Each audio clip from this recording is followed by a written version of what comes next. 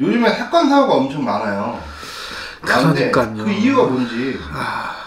요즘 올해 들어서 특히 정권이 바뀌면서 자꾸 계속 끊이지 않는 것 같아.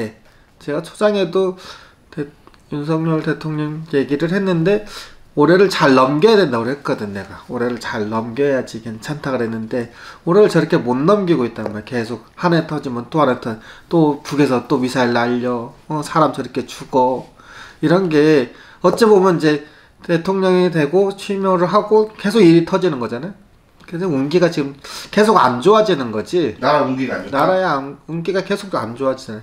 옛날 같으면 이러면은 옛날에는 음, 나라 대통령들이 어 비가 안 오면 기후제도 지내고 나라가 저거 하면은 하늘에도 내고 음, 큰 제도 지내는데 나는 까놓고 얘기했으면 좋겠어. 진짜 나라를 위해서 한번 크게 대, 구술해서 좀 이 나라를 좀 재웠으면 좋겠고 운기를 조금 바꿨으면 좋겠어. 운기가 안 좋은 이유가 뭐예요?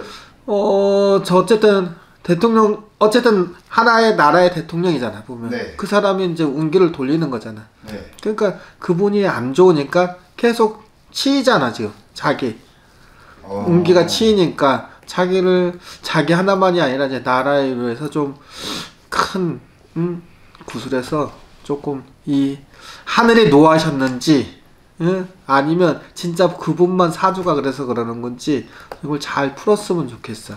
근데 아, 지금 보면- 대통령님이 운기가 별로 안 좋아서 안 좋아서 지금 나라 계속 운기도 안 좋다. 안 좋고 그러니까 하늘에서 노하신 것 같아. 예?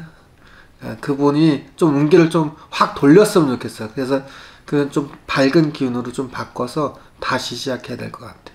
음,